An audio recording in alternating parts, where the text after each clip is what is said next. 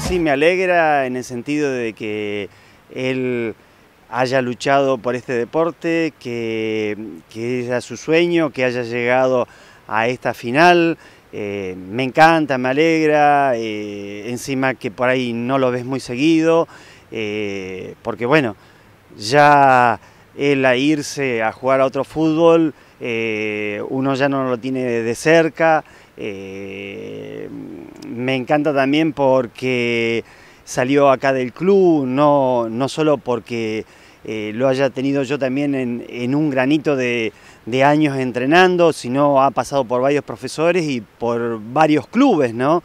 Entonces todo eso me alegra para él, eh, que esta felicidad eh, es de la familia también, porque la familia ha estado siempre atrás de él, lo ha llevado, lo ha acercado acá al club para que él vaya haciendo sus primeras armas, que las tenía, la tenía escondidas, que las fue explotando año a año.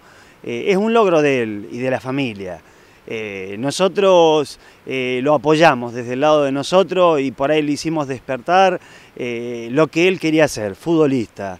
Entonces agradecimientos a él haber salido campeón y que bueno, sus sueños que le sigan eh, quedando para seguir jugando al fútbol, eh, se le siga dando como se le está dando ahora. Eh, en aquel momento ya se notaba que, le picaba el bichito, por lo menos él mismo lo reconoce, de la profesionalidad. Este, después se le fueron sumando cuestiones tácticas y técnicas que vinieron con los años y con el entrenamiento.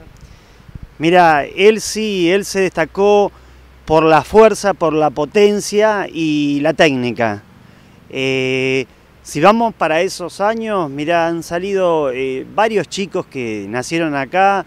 Eh, Leo es 86, eh, después Pablo Batalla 84, Miguel Caneo 83, Gustavo Canale 82.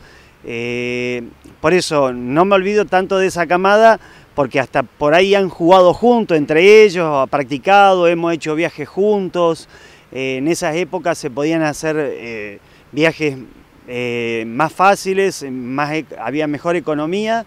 Eh, entonces, eh, él demostraba como todos ellos y muchos más que él tuvo una dedicación desde adolescente, él prefería descansar antes de salir con sus compañeros y eso es lo que le fue marcando el día a día a ser un jugador profesional. ¿no? pero son roquenses, entonces uno no se olvida. Y ellos tampoco, digo, porque es toda una camada que cada vez que tienen la posibilidad de venir a la ciudad, en algún momentito por el depo pasa. Sí, sí, sí, sí. La, última pasada que hizo Leo Ulloa fue un chico que el año pasado se, le había incendiado la casa, entonces él se acercó eh, al club eh, a dar una mano, eh, trajo los talonarios de rifa, donó una camiseta, de su club y también un par de botines de Cucho Cambiazo firmado.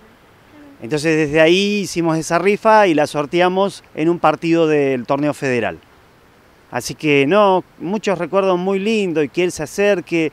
Por ahí habrá años que por ahí él se acerca al club a ver un partido y yo justo no estoy, pero bueno, agradecerle todo esto y bueno, y que tenga mucho más mucho más porque a nosotros, vamos a decir, eh, nos hace recordar eh, lindo, lindas épocas.